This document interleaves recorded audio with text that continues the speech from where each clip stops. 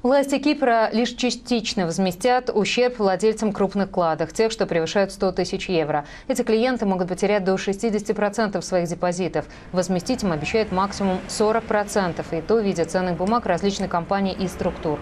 Будет своеобразный обмен. Экономисты сейчас гадают, куда теперь пострадавшие вкладчики, в основном россияне, будут переводить свои деньги. И все чаще в качестве варианта называют Латвию. Говорят, там как раз подходящие условия, а спрос в последнее время растет.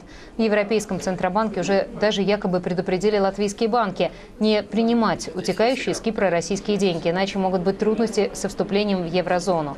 Об этом сообщило агентство Рейтер. Премьер-министр Латвии эти сообщения проверк и сказал, что он никакого притока денег не ожидает.